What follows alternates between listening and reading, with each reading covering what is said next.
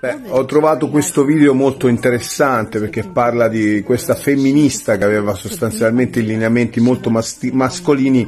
e ha provato a vestirsi da uomo, a travestirsi da uomo per riuscire a capire quello che provava un uomo e vedere come veramente fosse trattato meglio dalla società rispetto a una donna. Ma non, dopo un anno e mezzo è arrivata ad, ad uccidersi e suicidarsi perché ha capito che gli uomini soffrivano talmente, da tanto che veniva trattata male dalle altre donne eh, soffriva tantissimo. E la, la, ragazza adesso spiega che voi uomini non, non, non fate emergere questa parte per cui soff- la, la, vostra sofferenza da parte delle donne eccetera eccetera.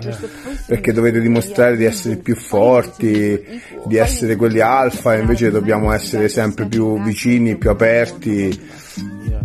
e questo a me fa riflettere in realtà di quanto è necessario, soprattutto nei paesi laddove, almeno sulla carta, abbiamo raggiunto la parità di diritti, un percorso di riconciliazione fra i sessi, fra eh, le donne gli uomini e eh, tutte le altre sfumature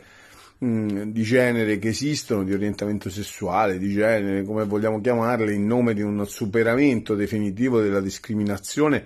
e della violenza sotto tutti i suoi aspetti. La storia di cui si parlava nel video precedente è quella di Nora Vincent, se non erro, una scrittrice svizzera che ha chiesto eh, giusto lo scorso luglio di essere